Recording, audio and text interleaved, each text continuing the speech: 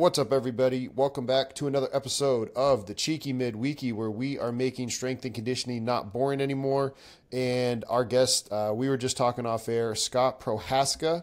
He is talking about how hockey in Southern California is it's not dead. It's it's actually a growing, vibrant thing. So, Scot, introduce yourself, and then let's dive right back into this with uh, the hockey stuff.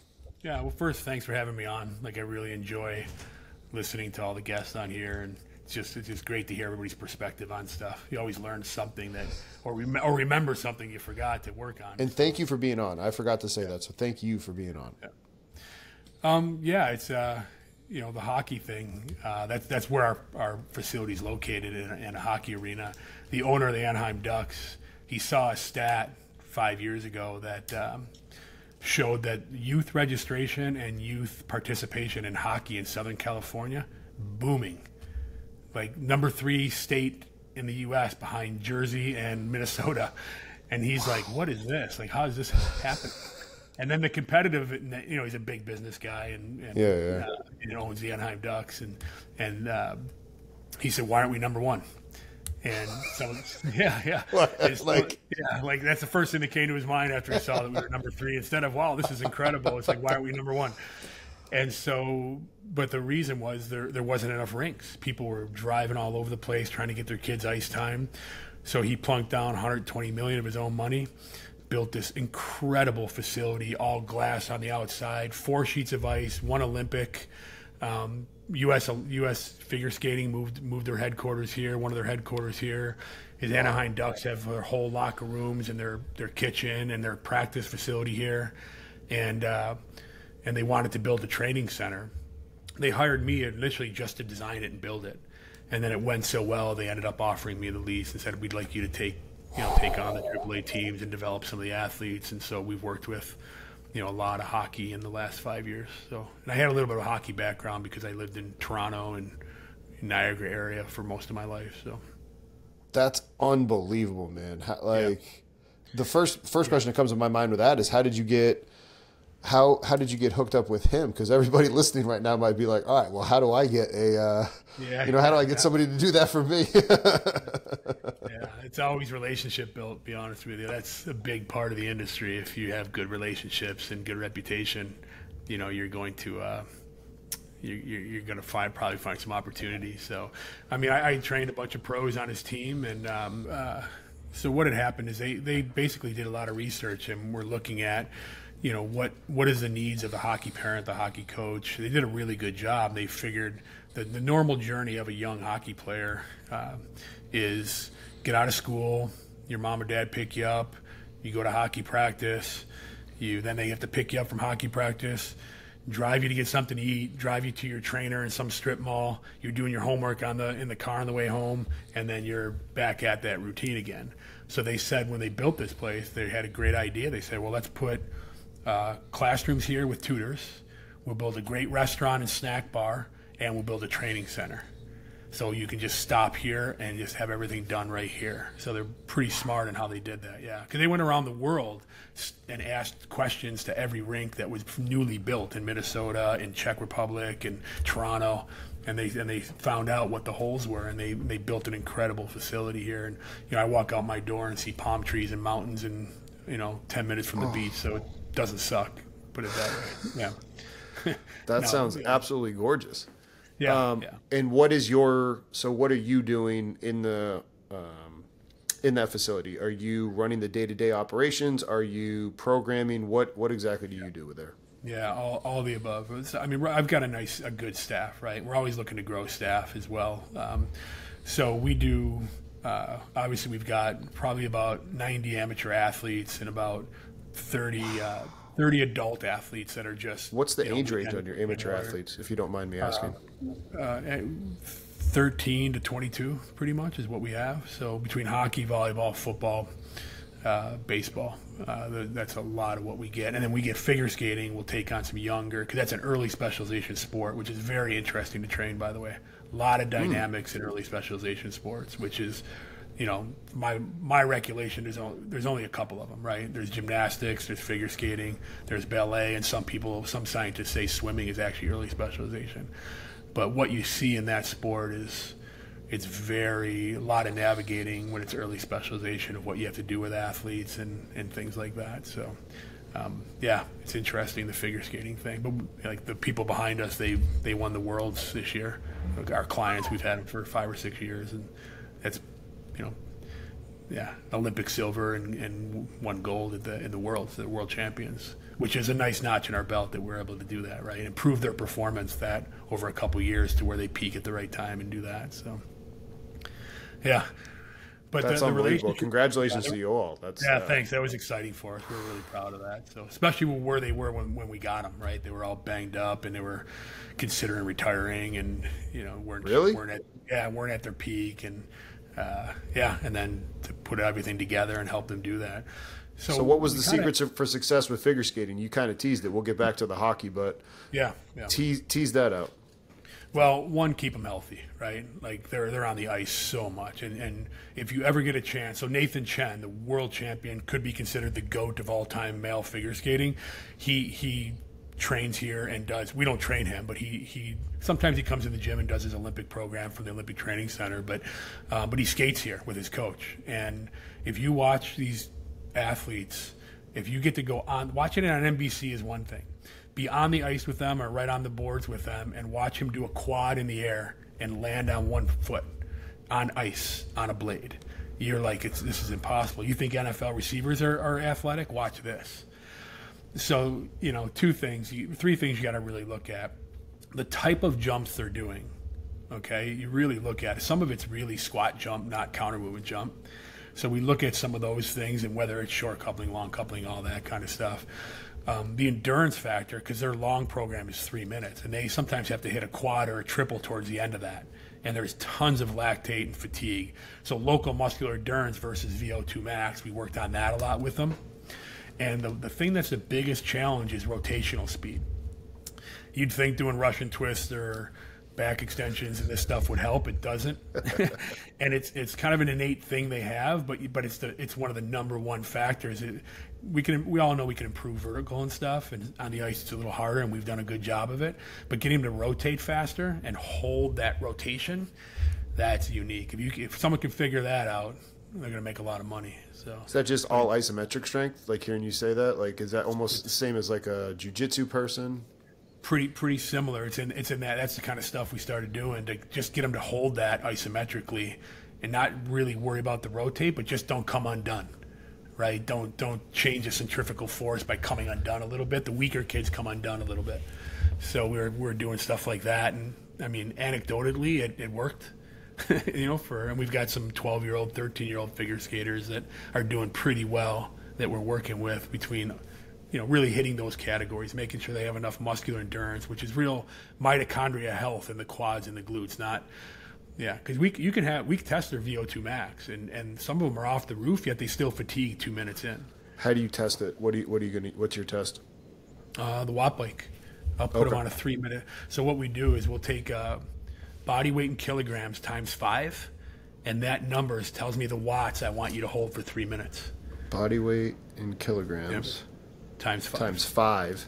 Times five. Yeah. Is the watts. Is the watts. Uh, that you want them to hit for three three minutes. Hold that. Hold that. I'll have. I'll get them to that wattage on the Wattbike, and I say hold it for three minutes now.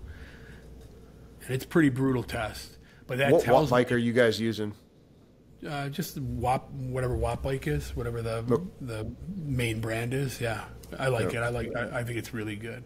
So I think there's two different things. Same with football. Same with field sports. Same with hockey. You know, VO2 max is one thing, but local muscular endurance, the, the the size and the health of that mitochondria. You know, can you really push limits of fatigue through mu- local muscular endurance to where they don't fatigue? Like that's one thing I, I, I take pride in. My athletes don't fatigue. Whether it's a modern day football player, high school football player, the D our DNs just go. They have motors, man. They do not quit for four quarters. Our D linemen, it's unbelievable. Our DBs, they're flying around the field because between VO2 max and, and local muscular endurance, I, I take care of that. I think that's very important to, to, to give give athletes, you know, that type of bucket, right? when I heard you talk about landing the quad, it made me yeah. think strength coaches that love the program um, snap downs. Like this, Yeah. there's no way you're doing snap downs with your athletes. No way. Like, No, yeah, like no. this just. I mean, because you talked about coming down from a quad on a single leg on a blade. Like, is there research out there on? the ground reaction forces from landing with that much centrifugal force and rotation. Yeah. Like, what is it? Yeah, yeah. It's I, I don't know the exact numbers. What it is, uh, it's pretty high. I mean, I think I, I know on the hamstring and the upper hamstring and the glute, landing off a throw when the girls are being thrown, it's like five times. It's like five or six, five or six times body weight. Like when you when you see this couple here, Alexa Knierim and Brandon Frazier, when you see him throw her in the air, 15, 20 feet in the air, and she does two, three spins and lands on one foot eccentrically, yeah. There's there's some strength that needs to be in that, right, and some timing as well. So Right? Yeah. Oh my! And Yeah. and you know what? Like you're saying all of this, and I I hope all of our listeners are thinking the exact same thing. Like so often, nobody's like, "Oh, figure skaters are strong." That's unbelievable strength. Oh, I mean, the, the isometric strength, the concentric strength they have to display uh, is incredible. Incredible. Plus, plus the athleticism. I it all boils down to, to kind of what Dan Pfaff was kind of saying in, in, in one of the, you know, the ones you did recently with him. I think that for any sport or any sporting movement, you have to, or at least the athletic moves, whether it's jumping, running, throwing, kicking, whatever, right? You have to, as, whether you're a strength coach or you want to be more in the performance coach and, and be all to the athlete, we are measuring everything. Like Dan gets that, you know, you know, he gets to cook the whole meal and grocery shop, right? And, and do that. So, um, I think you have to first have a biomechanical model of how you think, you know, within within guardrails of how this athlete needs to move, and then you need to have a physical model of what types of strengths, what types of elasticity, or types of contractions, types of angles they need to get in, right? As well as the biomechanical model, and then you can start playing with what's the limiting factor. Is it a physical factor or a technical factor that's going on here, right? Um, yeah so so i think you know that's that's always what i've been lucky enough to be in the industry long enough to have biomechanical guys i can call or have someone that's world champion figure skaters that are retired you know and talk to them and say what what did you think? What was your mechanical model? What did you think this jump had to be? Where the knee has to be? Where the hands need to be? All that type of stuff. And and when you study that then you can start looking at things to train right outside of just the general prep stuff. So Yeah, and hearing you say that makes me wonder. Kind of very similar to you talked about swim being an early specialization, gymnastics, um, these sports where because it is so specialized. Do you think that this is one of those sports where if there's another strength coach out there listening, they're like, hey, um, or it's they're new to it. Is this one of the sports where the sport coach should have just complete say in what goes on because you know people talk about high performance and strength coach planning practice blah blah blah. But like how do you break down technical tactical you know s- small sided games? All these things that we've talked about on the show before Yeah. and our guests have but how you can't do that as the strength coach. Like you really have to lean on the strength the sport coach. Yeah, big big rub in the figure skating world, even in the hockey world a little bit. The, the more technical the sport, hockey quarterbacks, right? We do a lot of quarterbacks. We work work with a lot of NFL and successful high school quarterbacks we work with. The more technical it is, the more control I think you need to have as a performance coach and maybe monitor everything, because there's a big big rub in the figure skating world between coaches that do not want their athletes sore on the ice, do not want them fatigued on the ice because of all the technical and choreography that needs to be nailed and skill sets developed constantly because you have a small window, it's early specialization. So they're always complaining about strength conditioning guys. Strength conditioning guys are always complaining about you're doing too much on ice, they're fatigued, they can't get stronger. So you know, I partnered with the coaches and we were meeting constantly, like every day, every day meeting. I'd go out on the ice and watch them and talk. And so it was, a big collaboration to get, to get in an early specialization sport or a high skill sport like quarterbacking. You, you got to collaborate. You cannot be a silo, just kind of, you know, he needs strength. He needs rotator cuff strength. He needs hip rotation. I'm going to give him that, right? yeah, and, and, and, and then wish it's gonna. I hope it's gonna work. It takes if you really want performance, you want someone performing at their best. You're going to have to collaborate big time or take it over yourself and understand mm. all that. Mm. Like I said, Dan, you know, Dan, some of the best guys in track, they get the, you know, grocery shop and cook the meal themselves, right? So, because they control everything. And that's kind of the path I've taken. And I've known Dan, you know, I've met him since the 90s, right? I was on the track in Oregon, you know, when he was coaching and stuff like that. So, um, it's kind of a, you know, there's there's so many things to learn in this field. You know, I've got my model of, of performance that we look at, but this is I was telling a, a younger strength coach this the other day that you know, by the time you learn about rehab, by the time you learn about biomechanics, all the different training methodologies and, and contractions and jumping and, you know, all the types of jumps you can give people and progressing all this stuff. And, and then you want to work on some psychological or tactical stuff if you're giving me that by the time you get comfortable finally doing that, probably time to retire because that's how long to feel to feel comfortable. Like I feel comfortable now analyzing an athlete, looking at the constraints of what might be limiting them. I'm going to take my best guess, and then and then and then you know, using the scientific method, test it, train them, retest it, train them, see if it's working, test their performance, and now it's getting close to retirement time for me. It takes. You're so long. right, though. You really are. yeah. Fuck, you hit you the know, Or, or you could go the other, or you could go the other route and say, I get them strong, I get them healthy, and you do what you want with them. Right. That's another way to look at it. I chose. I didn't choose that that path. I chose the other path. So. Uh, you know, blending the the field, uh, excuse me, blending the figure skating and the ice hockey world. What are, you know, we've had Anthony Donskov on and, and did a presentation on biomechanical stuff for hockey. Um, you know, for me to learn it better and for our, our, other listeners out there, like, I feel like everybody talks about groin strength or what are some just basic, you mentioned Dan, heuristics for figure skating, blending it into then, okay, this is heuristics for hockey, you know, your, your guiding principles. Well, power. okay, power.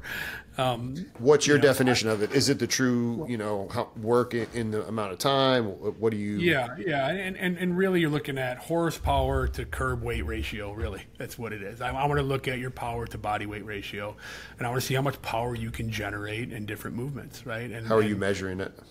Uh, we, can, I mean, we have force plates. We've got all stuff like that. We can look at different impulse and for and power, propulsive power asymmetrical stuff, and when I and I look at that, I, I think first my approach is I still honestly, you know, maybe a little more rare at the upper level that, I, but I still build an athlete first. I look at their athletic movements and how they move. Hockey players when they first get off the ice, and this is a big knock that, that I challenge you know a lot of a lot of hockey coaches or hockey trainers back east and stuff. Hockey hockey players can't sprint; they they run like retards, right? I'm like, come see mine. I go, come see mine. They look like sprinters because I train them that way, right? They jump like jumpers, like volleyball guys and basketball guys because I train. It's important for us to build that athleticism, those traits of jumping, running, throwing, cutting. I still do that even with the elite guys Jeff Moyer and I had a conversation. We were going to do a, an article together that said, because he came out and helped me with some of the elite quarterbacks that I work with, and and you know if you look at just pure athleticism, jumping, running, throwing, kicking, you know, cutting, and they suck at it. They're not great movers, right?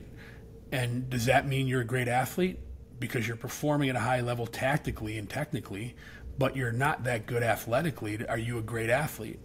Or do you do you consider someone a great athlete because they can do it all, right? They can do everything. They can run, they can jump, they can cut, they can do everything really, really well.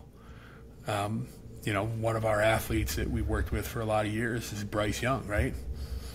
And Bryce does a lot of things really well. He cuts very, very well.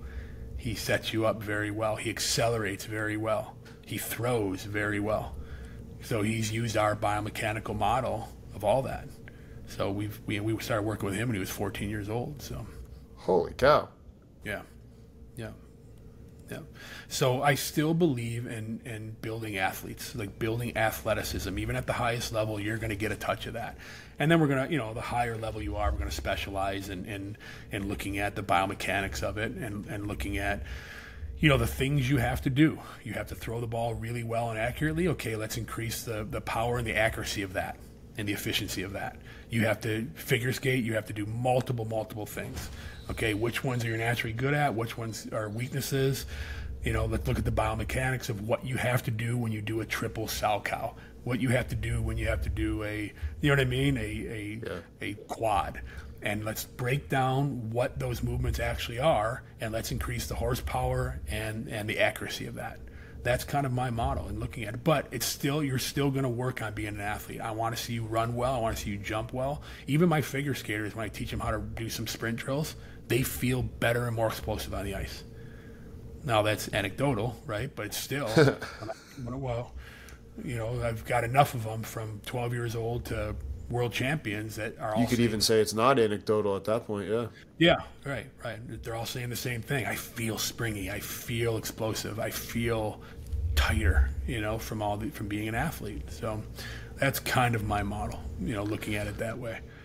For your figure skaters when you talk about the strength of body weight it made me think about um, lance armstrong's book that i had read back in the day when it was either before the ped i don't know long story yeah. short, it was in the book where he talked about being on the razor, where or whatever, where it's like I have to yeah. be this certain body weight, and you can't be above, yeah. can't be below. How serious is that in figure skating and in hockey or the other sports that you're working with? Well, yeah, I, I those two, uh, huge. One psychologically, they just know what weight they feel good at, and we've got an InBody. We test some stuff. Um, yeah, so we're, we're always testing that type of stuff, and, and, I don't I just don't do the InBody. I also I've got a background with Charles Poliquin, so I do a little bit of his biosig, and we'll do twelve point, and we'll test we'll test a couple things, and keep saying with a coach how are they performing. We'll do some metrics on them at this weight, at this body comp, how we how they feeling here. If I put a little muscle on them, they're gonna feel maybe a little different for first, but can we hold that muscle and see if it feels better? You're always playing with things like that, right? Hockey is very interesting because. Uh, there's some research out there that shows that in the NHL, your lean body mass, overall lean body mass, just not muscle mass, is re- eh, to your centimeters in height is a ratio that's almost identical for every guy.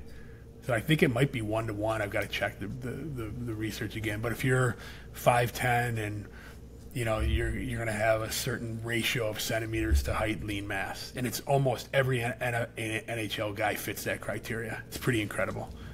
Yeah.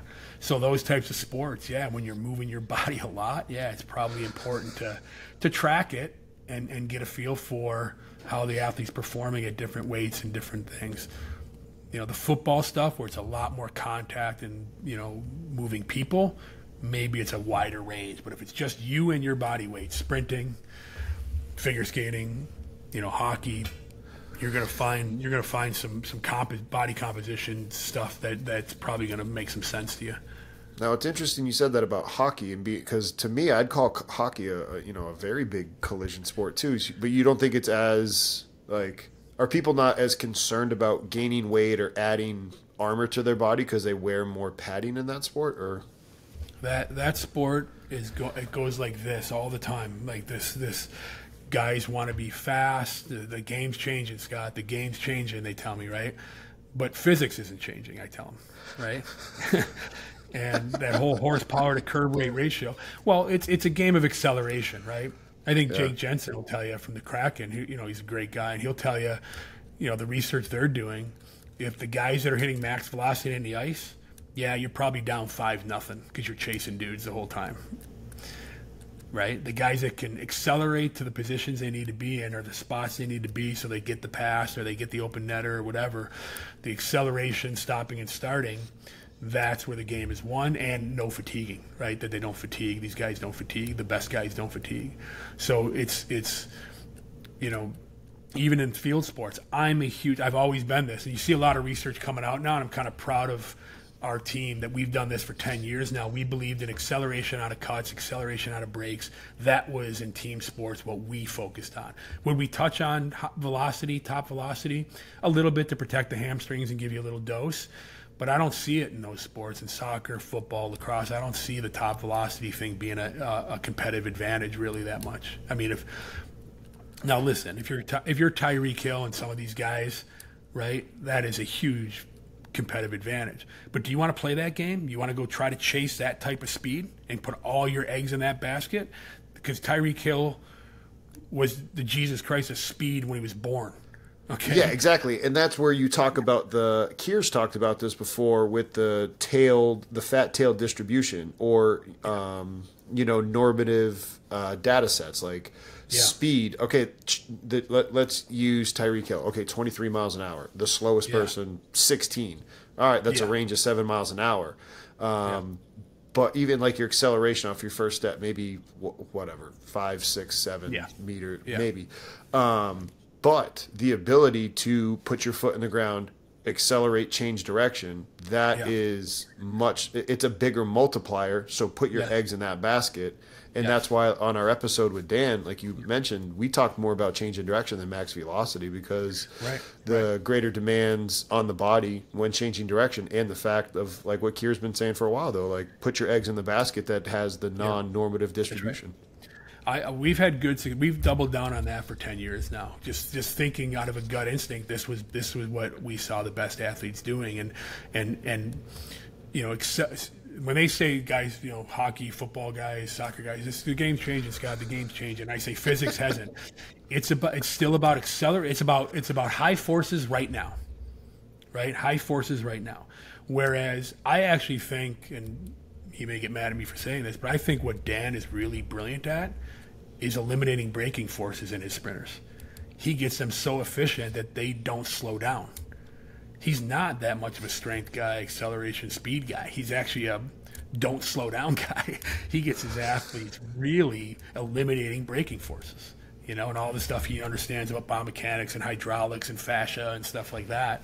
Um, I got the same background as him with the same people and and he's so good, and that's what I think top velocity is. He's just eliminating braking forces, really, at that yeah. at that thing, and that's not something we double down on a lot. We double down on all these different positions you're going to get in. How fast and mechanically sound can you accelerate out of that? And then and then we start throwing tactical training on. Can you set guys up? Can you understand what the you know what's going on out there? And and play with your accelerations to make guys miss or create space or close space. Now you've got a player, if you ask me. Do you have any relationship or um, learning from Loren Landow? Because those are some things I remember learning from him about the ability to reaccelerate after you've made you know multiple different types of change in direction and the same heuristic of get your foot back underneath your center of gravity that horizontal orientation but yeah, I haven't spoke to him about it. I've you know had some guys that played for him when he was you know at Denver and stuff like that, and he loved the way they moved. I know that. So um, yeah, so we're probably thinking the same way. Um, but yeah, we have we have a mechanical biomechanical model of cutting in here, where the foot needs to be landing on the inside edge of the foot. You know, the way we teach it is almost like a like a like a ski, right? The inside edge of the foot is the brake the ball and the big toe is the accelerator. I don't want you landing on the accelerator. I want you hitting the brake and pushing off again because that creates a ground reaction force. It stiffens. Quick break from the show to remind you to hit that like and subscribe button. It helps us out and it helps you be notified when we have new content get released. So, again, please hit that like and subscribe button if you enjoy this content. And with that, let's get back to the show. Right, where this can soften and do this and beat, beat up your accelerator too much and we get you know we get the foot outside the center of mass and, and the right the right uh, vector you know with where you want to go. And Newton's you know physics Newton's third law right? For every force there's an opposite and reactive force. If I put my foot here I'm going to go this way. If I put it here I'm going to go this way.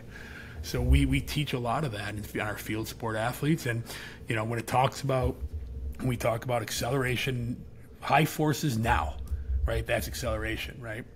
But also you've got to be in the right positions to direct those forces. So we look at if there's any kind of constraint in mobility or or coordination that we can't get the knee in the right position or that kind of thing. So that's what we're looking for. But it's high forces now is what we're looking for in acceleration, and and you know, like I said, you add tactical on top of that. Well, that's that's Bryce. That's where Bryce Young is brilliant.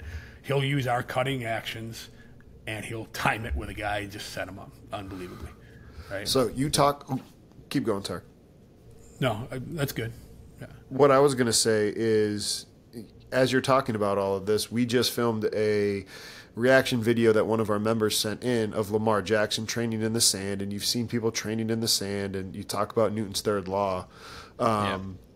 Just for more people, just to double down on it even more, like talk about why in your, especially in the world of hockey, that just dissipation yeah. of force, how poor and bad that is for athletes.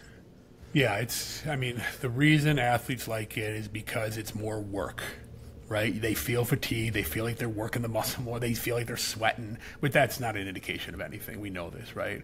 The, one of the biggest issues I have with it is not only how much it dissipates the ground reaction force, but you know we want to stick that foot in the ground and accelerate into acceleration position off that. Now you've got the foot sliding away from you, right? Which is completely biomechanically different than what you're doing and that is not what we want to train. And you're adding on the, the ground reaction force and the dissipation of forces. It's like clown work. Go get out of here. You know, yeah, go. it's not it's not worth anything if you know you're going to slow them down. But you know, you take any gifted athlete and you build a relationship. You can do anything with them. They're still going to figure it out. They're going to sort it out, right? They're going to sort out how to play well. But yeah. How about any knee injury? As you're talking about, you know, the yeah. the angle of when you want them to come in. Like the first thing that I thought of was like, all right, that boot up in the ankle. Does injuries go up the chain for somebody who's not as familiar as you are with uh, hockey or ice hockey? And if any of our listeners are out there feeling the same way, yeah. is that a high incidence of injury at the knee? And if so, what are the common injuries? No, I mean, uh, one strength matters, right? This is where you know you can go through all these iterations of and this and this is our this is when it gets tough right? Because strength matters to this guy at this time to this athlete Ooh, at this time like it doesn't matter to this athlete at this time. Biomechanics matter more. There's always you got to be surfing the curve all the time of for each athlete when it matters when it doesn't. When does power matter? When does power not matter? Does he have enough of it? Good he has enough right? So strength of the vmo the ankle the adductors matter right? Those things hip abduction, hip adduction, that stuff matters in cutting actions, right? So ankle, three-way ankle stuff matters in cutting actions. We make sure they're strong. You know, we don't start them off cutting at 100%, right? With 70% technical stuff, working on it. Um, but no, putting putting the you know it's it's more related. Any injury you're going to get isn't really. I mean, the foot position is one thing, but it's also the hip and trunk. If you're behind, the foot plant, you're going to get in trouble, right? If you watch Odell Beckham tears ACL, he's reaching back here, he sticks his foot way in front of him. And he's not kind of over his center of mass a little bit, and his hip was kind of opened up a little bit. So it's not just strength and it's not just foot position. It's also where the hip is, where the trunk is, where the center of mass is when you're planting as well. So that's something you need to teach as well. I, I encourage everybody to learn how to cut properly. You'd be, I, I am shocked at how that is it's a big, big. You know, last five years have been all about speed, right? Oh yeah. Um, what's your max V, bro? What's your max V, and it's all running straight and everything like that, which is valuable. But um, man, if you and I ask guys, do you have a model for cutting? Do you have a biomechanical model for cutting? And they all bring out the the, the five ten five shuttle. I'm like, what? like that is not how anybody's going to cut on the field of a field sport athlete or a hockey player, and that's not going to happen. It's, it's, actually that's where you're going to risk some injury. The way they plant the inside foot is wrong, and there's a lot of lot of mistakes going on there. It's a it's a useless drill, if you ask me. It's not how athletes cut or should be taught to cut that way. But uh, learn cutting. to all the coaches out there that are listening that maybe you disagree with me in my opinion, and I'm curious what your opinion is. When my athletes would change direction, whether we were doing any of our energy system work for change in direction, I never wanted them to touch the ground with their hands. I didn't want them to touch no. the line with their hand. No. And it, that is not how you change direction on the field. And you can have the same discipline of touching the line with your foot as you do with your hand. It's it, right. That's right. So now we're getting it. Now we're getting into something very interesting. This is where our jump series come in, right? Now, if you understand jumping, you can really start talking about what type of cut is it, right? The only time to really lower like that is when you're going to take contact on, right? That's it. But if you're cutting just you personally cutting on air, making a 90, 45 degree cut, 180 degree cut, you you I mean the, the center mass is going to drop a little bit, but I want elastic tendon stuff going on there Okay, I don't want the muscle contracting that much. It's too slow. Okay, so that's where our jump series comes in. Our jump program comes in to train more short coupling, tendon stuff. You want the cuts to be more of a jumping plyometric nature than you do a muscular nature. And so, training the tendons and the muscles to work together, training the thickness of the tendons with short coupling, extensive jumps, things like that, will build up enough to start cutting at full speed now when we get the eccentric strength and some of the strength going on, plus the jumping. That's our model. Our jumping is used really for cutting a lot. You know, it's, it's for acceleration too, a little bit, or, or for, but that's where the, you know, long coupling stuff we consider for stretch, shorten cycle, and power. Short coupling we consider for elastic recoil and tendinous stuff, you know, for, for ground reaction times and things like that. So we're always evaluate. We'll we'll test an athlete and look at their ground contact. Big strong kid on the ground too much, he's going to get a little more short coupling jumps. You know, tippy tappy quick kid, track kid. Yeah, you have no power. You might get a little more long coupling jumps. You know, because you can't generate power, especially in contact or if someone's pushing on you. So that's where the jumping can get really specific. You know, uh, we use jumping as a means. We don't think it's going to directly relate to relate to speed so much, but it can relate to cutting very, very, very well, very well. what will be some of it like whether it, it doesn't matter the vector in your guys' opinion and what you found or does vec like because they're so novice hey let's just get them doing it vertical and then it does help translate yeah. or, or how do you go about implementing it Good, great question. So we, we, we, you know, we look at it as jumping is two feet on the ground, right? And then we look at bounding, and then we look at hopping is you know, bounding one foot to one foot, and then we look at hopping. We're always covering distance, though, when we're jumping. We're never going just really very rare, unless we're testing on a force plate or something, are we going straight up. We're always covering distance when we're jumping. And even even the the um, you know, not just intensive but extensive. We're covering distance.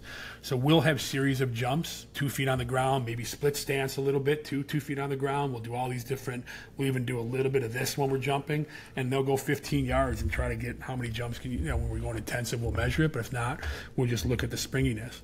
And then we'll go through some some bounding series and then some hopping series, and we'll change directions and do that. But we'll do both of them. Here's the key: we'll do jumping so jumping two feet on the ground, short coupling and long coupling. Right? So With weight, or you would, how do you go about programming it? Sorry. Um, but, so typically we'll do body weight. The only time we're going to do weighted jumps is where we're going to measure it. That's really all I'm going to do weighted jumps with, right? We're going to measure it on a, on a force plate or we're going to measure it on a, on a jump mat. And I've got, I'll show, I'll tell you my jump series, you know, how we do that, which is pretty fun. We're getting some good numbers with you know, 14 year olds jumping 30 something inches. So, oh, wow. um, all, all, day long, we're, we're doing that, you know, all day long. We, we, we probably average about 10 inches on a vertical in, in a year on most of our athletes. We, you know, we've got girls jumping close to 30, 28 inches, so no problem. Yeah, no problem with that. But um, so we're gonna we're gonna go through a jump series of you're going to jump short coupling, 10, 15 yards then you're going to bound short coupling. Then you're going to hop short coupling.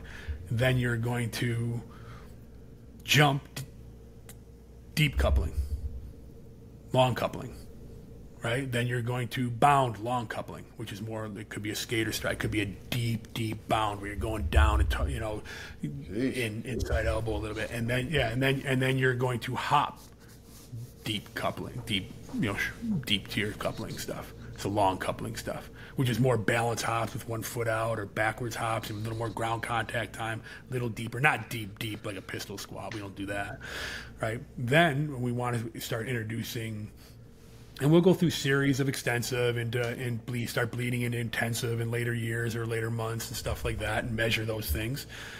But we've got a nice, and really nice jump program with our weights that we do. It's just it's, it's we don't need the Olympic lift anymore if you follow this type of program, like this type of program, we don't need to.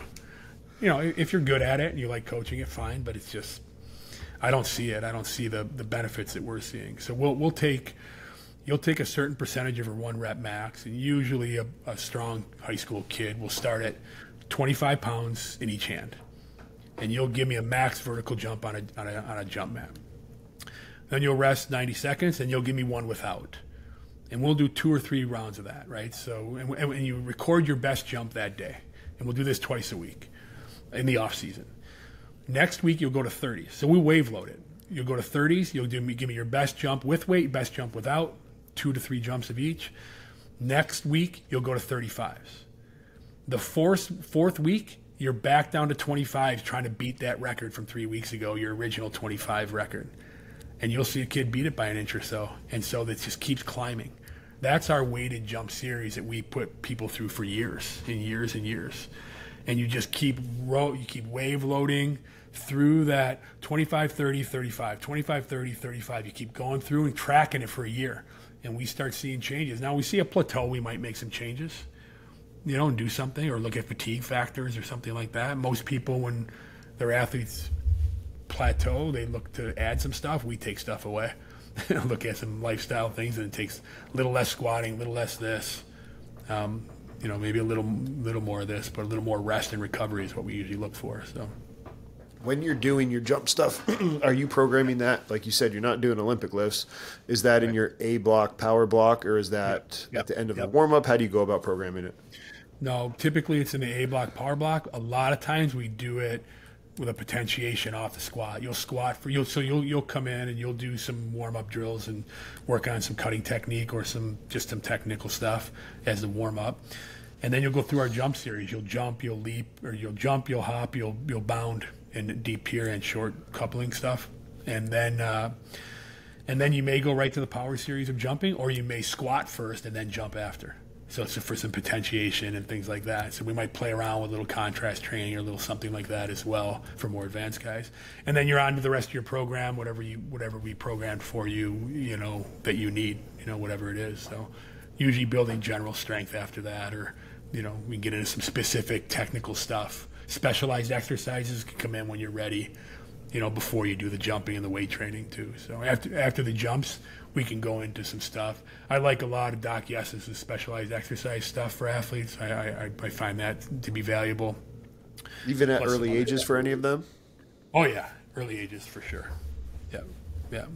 I, I still think some of the basics of running, you know, knee drive, paw backing, ankle extension, those three things that, that Doc Yessis preaches, I think those are fundamental in in in teaching you know how to feel that and, and strengthen that slowly and, and have some motor control in that right um, you know that that's probably the if you want to be a performance coach and really produce world champions and first round draft picks and Heisman Trophy winners, you probably got to understand a little bit of motor learning as well.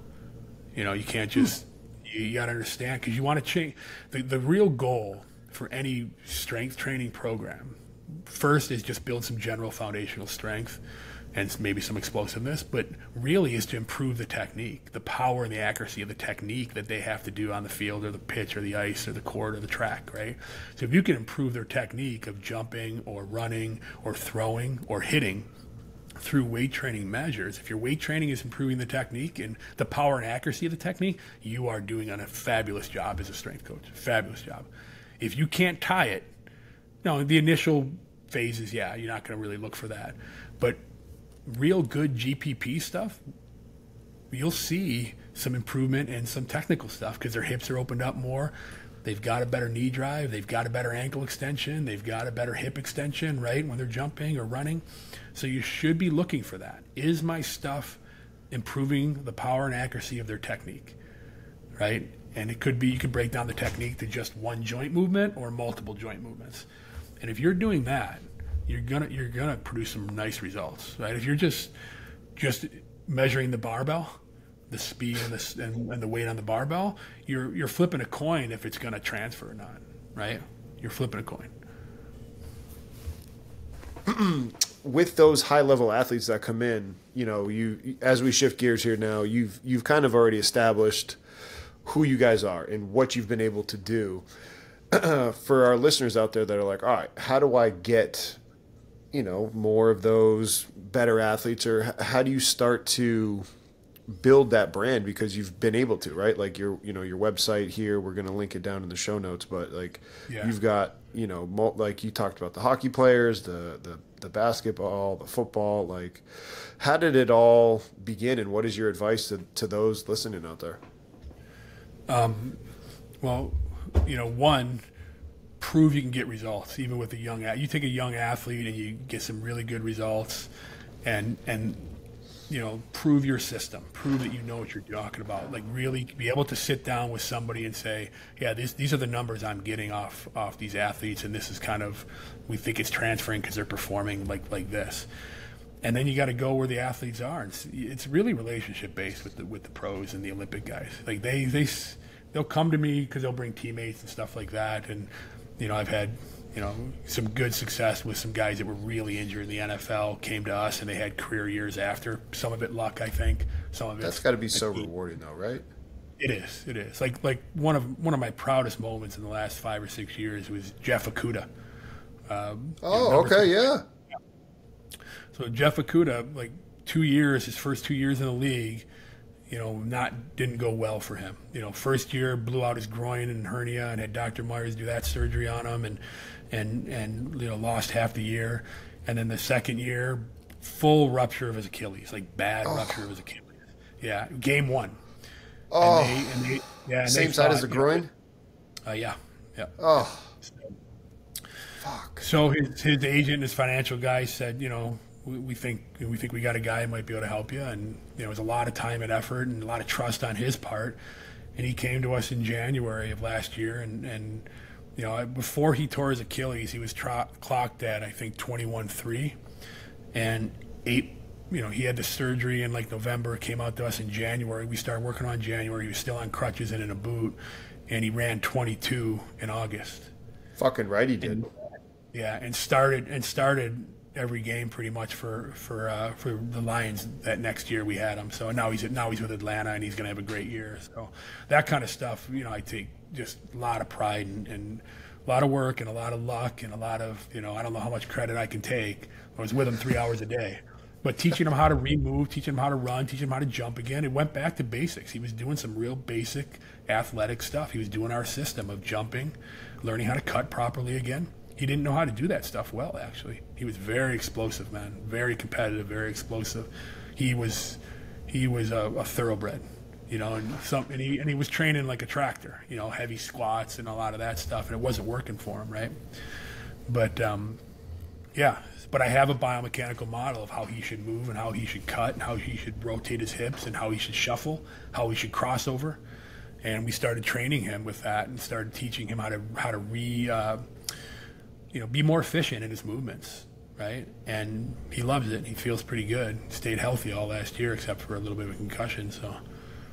How much of it, you just said it there, how much of it with what you're doing with those guys is fueling that competitive nature and then also doing it, like you said, though, within the model of what you want to achieve in that session? Yeah. Um, that that gets into kind of our, our bigger model of my career is, is always looked at these athletes that that just uh, because we've seen it. We've all seen athletes that are on the track or on, in the gym that put up big numbers, but they don't podium. They don't win in the championship moments, right? They don't win medals or, or you know things like that. And I, I, was fascinated my whole career with what is that? What is the difference? And I would interview champions. I would interview them all the time. And I think you know at the top of the triangle of performance is the psychological aspect, right? Is is how well can you regulate your emotions, right? The best guys in the world are like this. You know, they can they can re- recorrect the bad emotion in a second, right? Uh, a, a, Jordan, you know, a Kobe, a guys like that, right? Look at their mindsets were just unbelievable. And then I think you know you have to look at the sensory motor part, like how well can they process things? How well, how fast can they pick things? Everybody talks about the speed of the game at the next level. Well, it's also speed of processing, not just speed of movement and and that's something that's trainable right you can train how well you pick things up and recognize patterns and make decisions and your eyes are a big part of that and we work with you know one of the best guys in the world when it comes to the visual demands of sport and how the brain processes stuff and and he's in our, he's in our facility working with us as a partner so it's fun to see what he does um, and then I think the third thing, and this is at the top of the funnel, is the tactical. How well do you know the game? How well can you set guys up? Then I look at the bottom of the pyramid, three things is your technique. How technically sound are you? I don't care how strong you are if you don't know how to hit a forehand or a serve in tennis. You you know what I mean? It's not technically in coordination. It's not going to work out for you. And then and then physical, all the physical traits, which we could talk about for days. And then there's the recovery restoration part too. How fast and well can you recover? Practice more, play more, study more, and and and frame it right properly as well. So if you go through all those things, you know, we try to touch on all those right? When someone's tactically not good at something, I've done this plenty of times in my career in hockey and football. Um, I've got them with an all pro or a retired all pro and said, just go watch film with this guy, go learn tactics more, because that's your limiting factor. You're physically off the charts, Ooh. you're psychologically strong.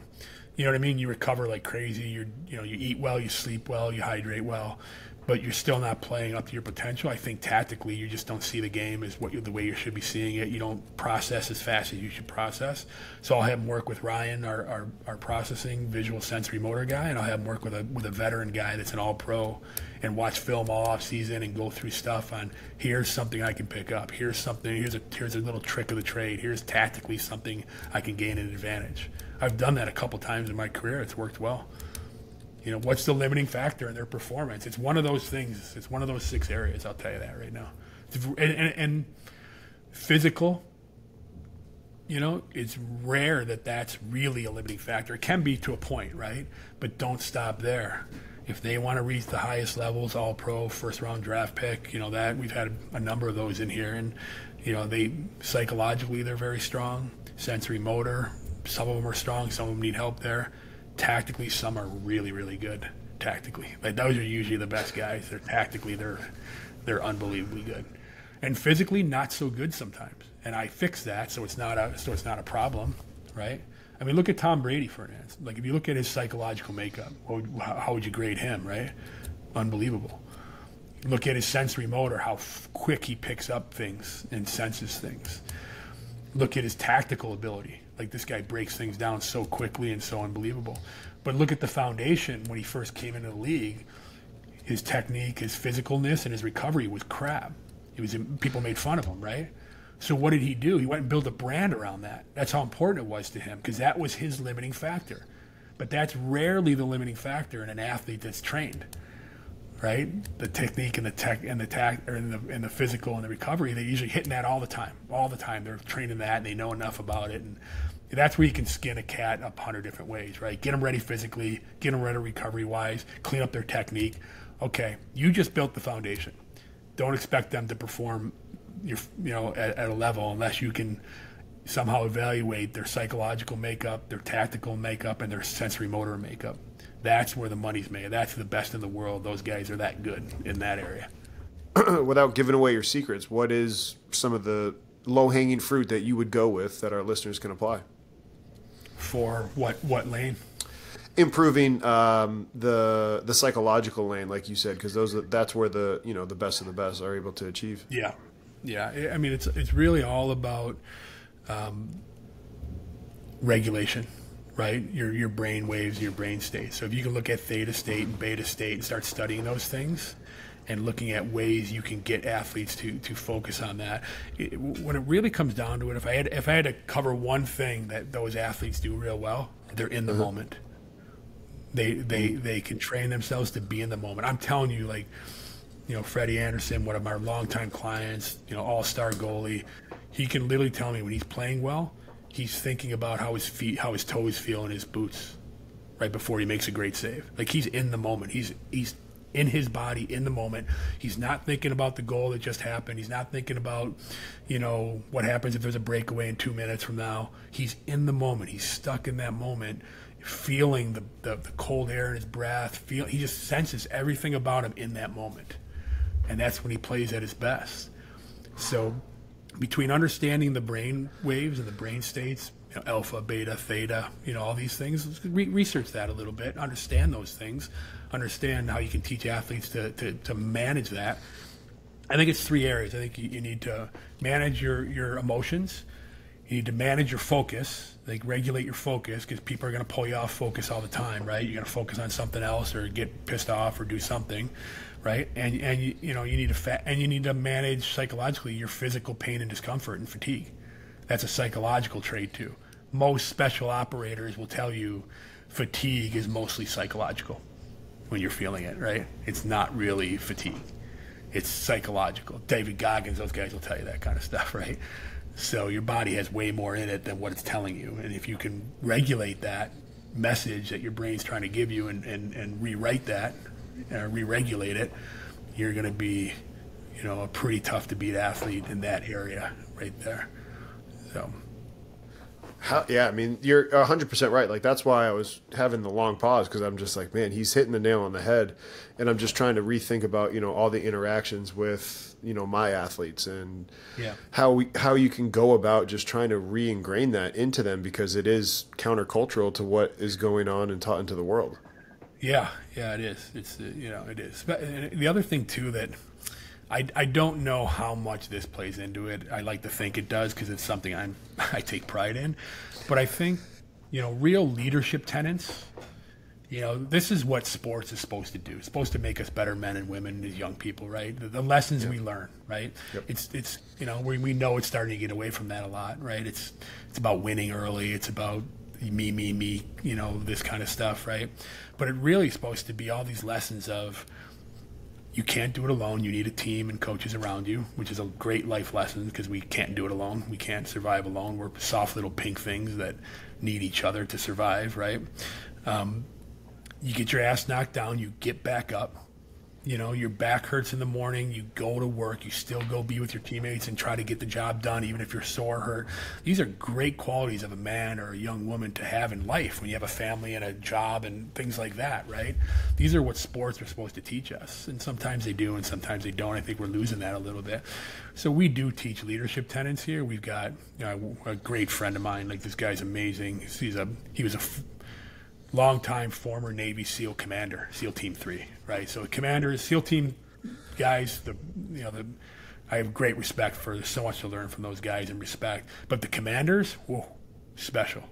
There's just some special qualities these guys have that I've had a chance to, to be around, and and you know creating leadership tenets where, where where there's some real definitions of what is honor, what is courage, what is leadership you know, we have definitions of what we teach our athletes of what these things are and how to recognize them in somebody and yourself when they're not being met, when they're met.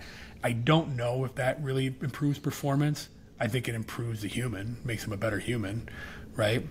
Um, but I, we like teaching them. We, we think it's you know it's part of our culture and what we teach, and we're very very clear on the distinctions of, of and the definitions of what these are because language is very important in any team you know, it, it, breeds action, right?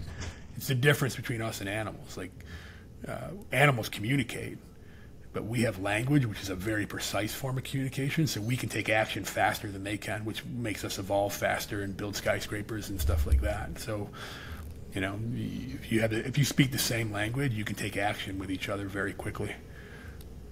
How are you able to then, if you're if you're having you know individual athletes coming in, when they come back because are they coming in during their same season my, my question that i'm trying to get to is like all right yeah. you've got these athletes and you've got these unbelievable f- fantastic athletes yeah. they go away and then how are you able to kind of keep those leadership principles instilled in them when they're away um, yeah. because you're not around them the whole time versus if you were with them if you were their high performance director or if you were their strength coach and you're just able to constantly be around them. Your youth athletes that makes sense. Yeah. But if yeah. anybody you know goes away you know to the chicago bears or to the ducks. Yeah. Right. Um, I, I, give them stuff to read on it right? We give them stuff to have and and, and it, it's you know part of part of the game of, of this field we chose is you know, there's some people that just come in for the off season and they go do their thing, but most of the guys we're still communicating, touching base with. You know, just really? send them a nice note, send them a DM, send some. Hey, someone had a rough game. Send them something on perseverance. Just send it to them. Remember what perseverance is. It just lights them up. They just like, all right, forget that. They don't dwell on it, right? You can just see it. You see because you see the next game they go out and perform. So we're always communicating with them and still keeping an eye on them. Like we care, right? We care, and it's uh, you know it's not always perfect, but we're, we'll we'll always be. They they know they're going to get it from us, whether they throw in the trash or not. They're still going to get it, and they're still going to get a reminder once in a while. um, that this is what it's about, right? Like it's supposed to be teaching you these life lessons. Your your athletic career, I don't care if, if this is your life, this is still your athletic career, right there, right? It's still small. You know, it can perpetuate a lot of financial success and things like that, or relationships, or get you a college scholarship and get you educated. But it's still a small portion of your life. And if we can influence some things to make you a better human, and hopefully it helps your performance, why not? So, but we'll, give them materials to read. We'll keep on them about it. We, we hear they're struggling with something. We'll send them something, courage or perseverance to read on. But uh, yeah, so. What has been the most fun and then the most challenging, um, not specific athlete, but the the sport that has been the most difficult and then the most rewarding for you in your personal and if there's like hey two or three but I, am interested to hear that based off of the diverse background of people you've trained. Yeah. I, I think my, my best experiences well, I've had I've had some good experiences not to brag but you know I've been in two Stanley Cup locker rooms. Oh okay right I, I was in the corner uh, with Michael Bisping won the world championship, and when he beat Ooh. Anderson Silva in London, I was in his corner. Um, I've been to two Olympics where athletes of mine were competing and being in the Olympic Village actually with, with credentials. You know, pretty incredible, you know, experiences to have. So, you know, chalking that up, I think being in the Olympic Village uh, twice with Olympic, with your athletes competing, athletes you've worked, are working with and counting on competing. That's probably one of my highlights. It was bobsledding and downhill skiing, which downhill skiing was a great thrill and challenge for me to train. You know, the forces, the eccentric forces, the, the oh. Taking a quick break from the show to talk to you guys about our sponsor, TeamBuildr. If you have any online training platform needs, TeamBuildr is the go to place. TeamBuildr has the ability to integrate with velocity based training tools they have the ability to program and have notes and videos for all of your athletes and your clients. This is your number one stop shop. Been using it since 2019 when I was working at Towson. So I've used it, love it. Make sure you check it out. Go ahead, click the link down in the description. And with that, let's get back to the show incredible, like incredible. The the vectors, the turning, you know what I mean? The the things that have to happen in that sport, and the and the, the courage and the bravery they have, and the fearlessness right. they have. Yeah, that was that was that was probably one of my best experiences. Overall, hockey players are probably my favorite athletes to train. They're just usually from small towns.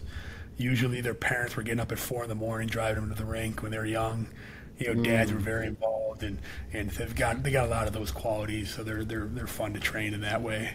Um, but yeah, I think uh, figure skating very challenging. Uh, you know, it's, it's I, I, I would say that the sports where I've gotten in trouble with figure skaters and gymnast gymnasts before because I said that you don't win anything. And they go, What are you talking about? And I said, You're awarded something. You don't win anything, which makes it hard for me to train you because I, I don't like that and you see behaviors in young figure skaters or young gymnasts that, uh, or even equestrian, you know what I mean, where there's judged, they're judged, right? The, the judging determines the winning.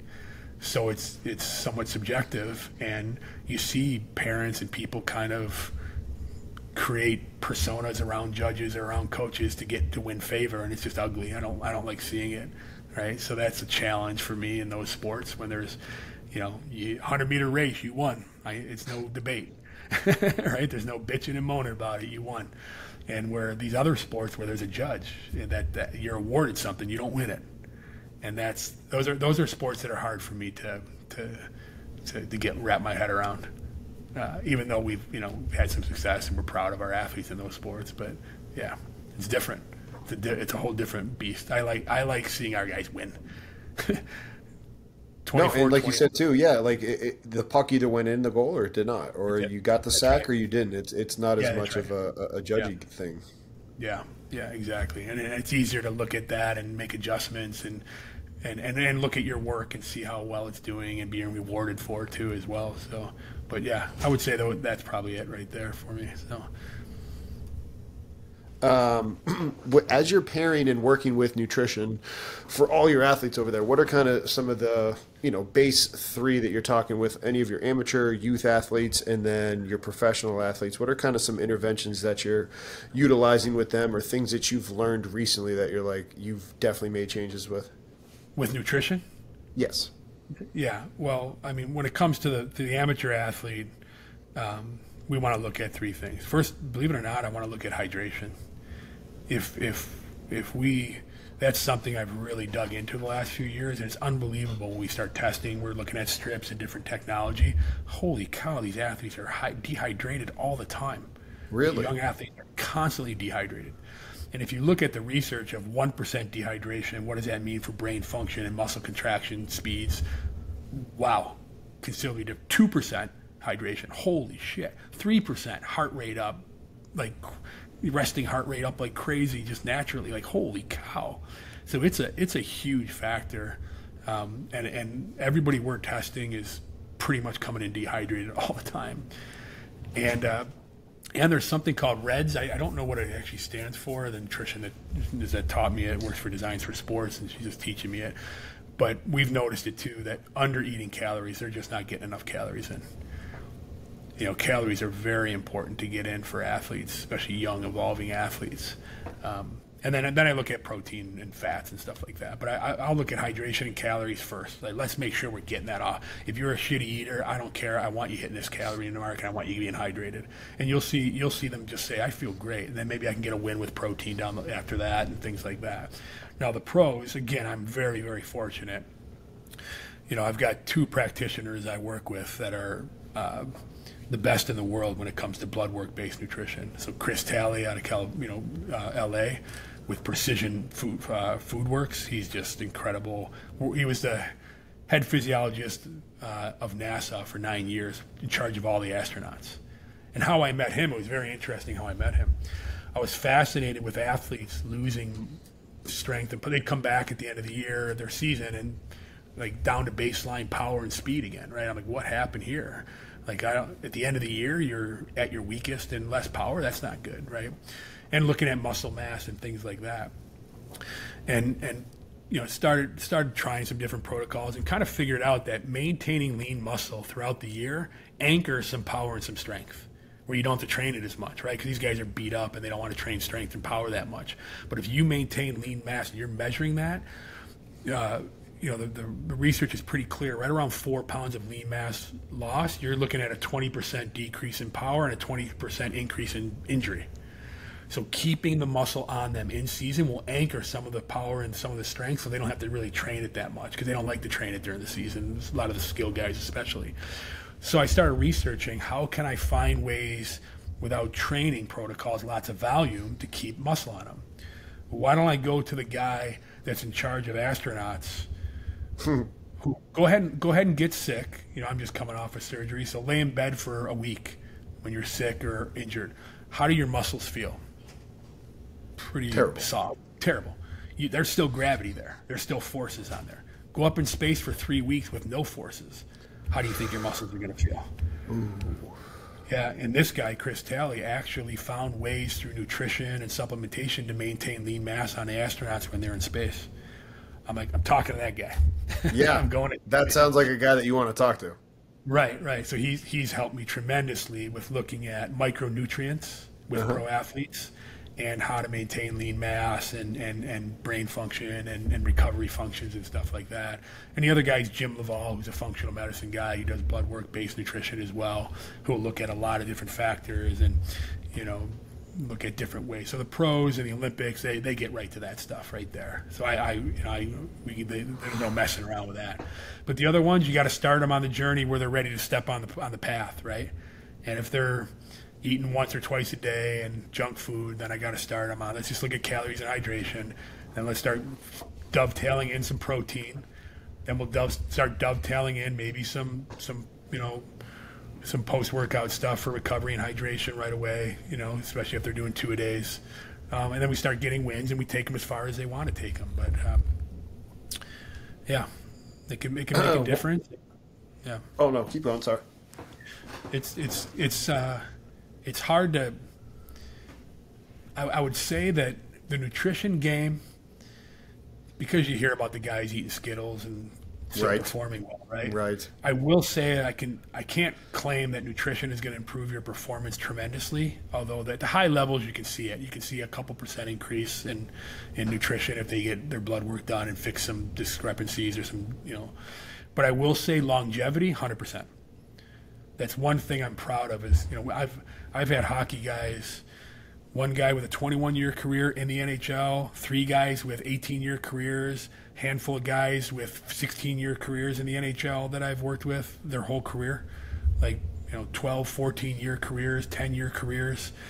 And yeah, and that's that's something I'm very proud of as well. To, to you know, whatever piece, small piece I had in that, a lot of luck and a lot of other people working with these guys, but um, a lot of work on my end, making sure that things are working well in the in the movements that they need to be moving with, and uh, and I think the nutrition can help make a big make a big play in the longevity part. That one of the one of the questions that I have for you is, you know, over the course of this conversation, just how, like you said, calm, cool, and collective. Not only Yeah. the best are, but I've noticed that with your personality.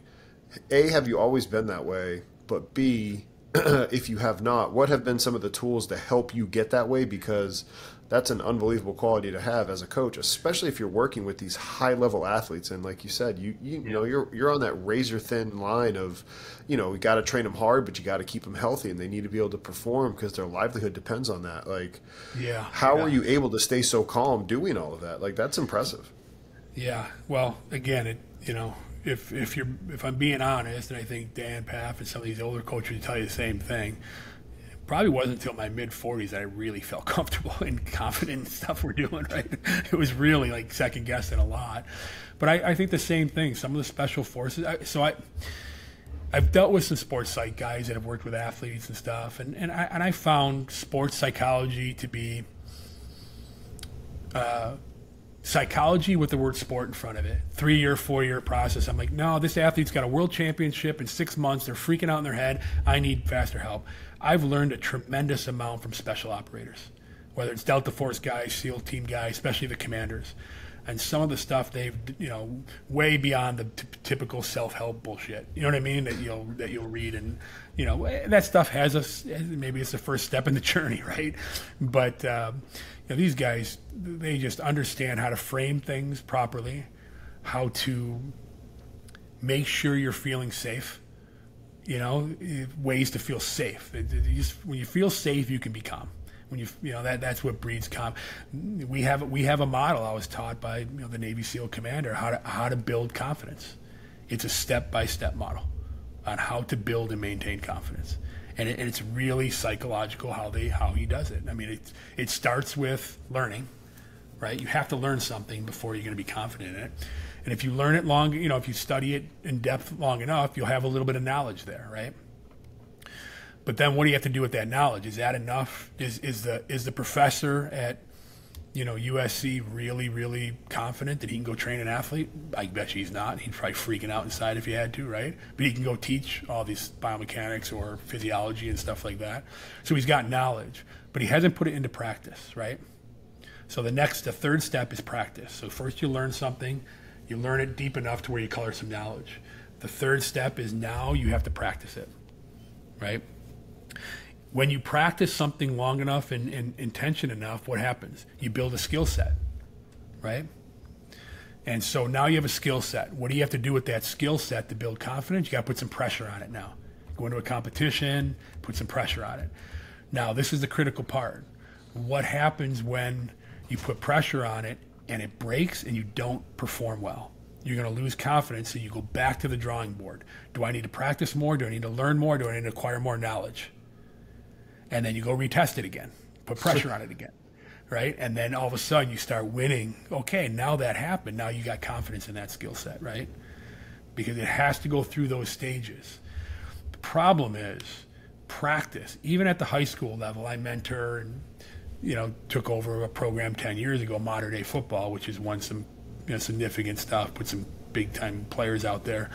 Um, practice at Mater Dei High School. Practice at IMG High School you know, practice at St. Aquinas or Gorman High School is not practice because there's pressure every minute because there's a guy standing right behind you that's a five star, a four star, trying to take your job. Same with at Alabama or USC or you know Georgia and these these great schools. It's probably not practice a lot of times. It's actually where you're putting pressure on, right? So practice should be you should be able to make mistakes.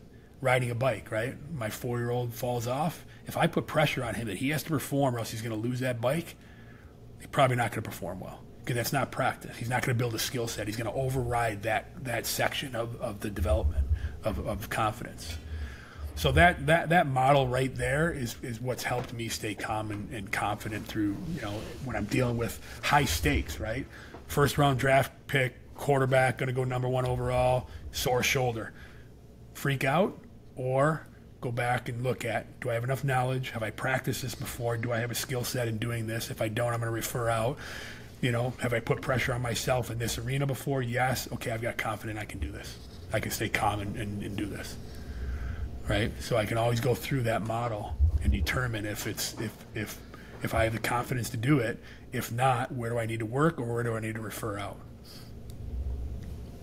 No, I mean that's that's a great point too, though. And and you brought up though at those different schools how how do you balance that fine line? Because okay, whether it's at those schools or if our listeners, you know, if that's their school, you know, they need to know how to do it there. But even yep. in those facilities, maybe like yours, where you, you got a bunch of pros coming in and, and high level people, how do you keep the pressure on without creating that world where mistakes aren't allowable and then they can't explore yep. and get better? Yeah, and that's and that's where where I want to get better at. You know, bringing guys like Jeff Moyer in and stuff like that to, to gamify stuff and, and things like that, to put pressure on in a gamified way. That's when athletes play their best innings when they're having fun. You know what I mean? When they're yeah, that's when they're that's when their true talents come out when they're having fun. Um, so practicing that type of thing. Here's some pressure. You're competing right now, but it's in a fun atmosphere and fun environment, right? The environment yeah. has to be everything. That gets them to build skill sets and put pressure on them. Practice. You should be able to fail and learn in practice. That's where you know the lessons are there. They always talk about every sage has ever taught us that we learn from the lessons we fail at. Right. Well, we're starting to put sports in at such a young age where you can't fail at all er, because there's too many stakes or you're going to get screamed at or yelled at or lose your job well then you're never going to develop the skill sets because you can't play you can't mess around. Watch Bryce Young play. Watch how much fun he has. Right? Watch Trevor Lawrence play. Watch how much fun he has. These guys, they got that down, right? They got that part down. They, you know, so um, that's a big part of it. That that helped me a lot. Stay calm in those situations where there's high stakes. You know, someone's patella knees hurting them, and they're going into a Olympic cycle of, of you know of events to, to make the Olympic team for figure skating or hockey, right? Yeah, stay calm. If you have confidence, if you build confidence in that skill set to help that patella tendon through learning, knowledge, practice, build the skill set. I put pressure on it because I've done it before. I got confidence I can help you. Or I'm not going to have confidence at that. I'm going to refer out and just be a part of what I can do for you. Amen, brother. Well, we've talked for the last hour and a half, and I greatly appreciate being able to learn from you. Um, we're going to link all of your stuff down in the show notes, but if there's any closing thoughts that you want our listeners to, you know, kind of stamp of like, hey, this is this is something you kind of want to end with. Um, but I've had a blast getting to learn from you in the last hour and a half. No, it's been fun. You know, I love I love talking about what we do, and you know, we're always learning too, and we have failures like everybody else, and athletes that you know struggle, and we're trying to figure out how to help them more. But uh, it's not a you know we're not perfect. But uh, I've been in the game a long time, and like I said, it's probably time to retire. but I, I, would say, oh know, no, advice, this is the time that you actually understand what you're doing. Yeah, yeah, exactly, exactly. I, I would say first and foremost, the movements that your athlete has to do on the field or the pitch or the track, you have to have a biomechanical model and get help if you need to of what is what are the right positions, the right shapes, the right mechanics, um, you know, and then you can look at how do I increase the force and the power and the and the accuracy of those movements, right? And and if you just build a better athlete there, and then leave it up to you know somebody else to teach their tactics and their psychological, you're still going to do great. You're still going to create some tremendous canvases of athletes that can do a lot of great things at what they're supposed to do, not just you know basic stuff, right? I 100% agree. I mean, it's it's all about them achieving success on the field. I was talking yeah. about this with one of my clients and his father the other day because they're getting ready to start training with me, but he's um, a high school athlete getting ready to go to college.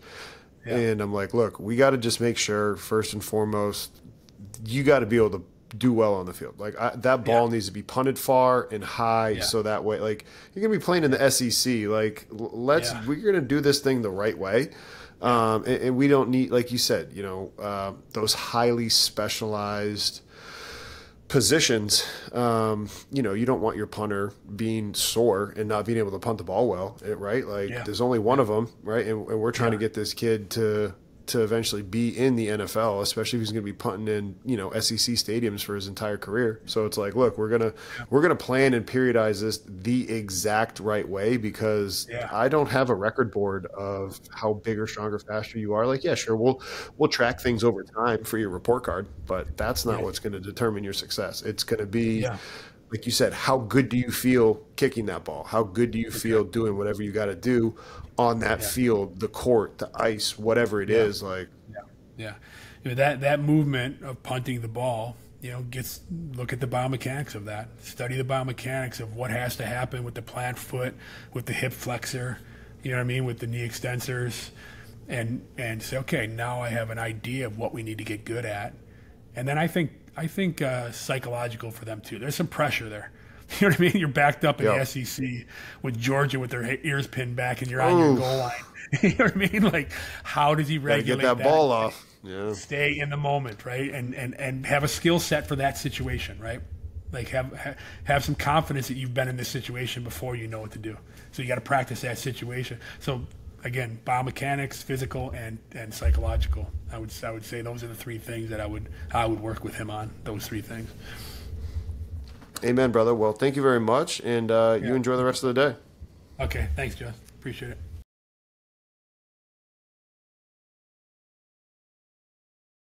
Congratulations on making it to the end of the video.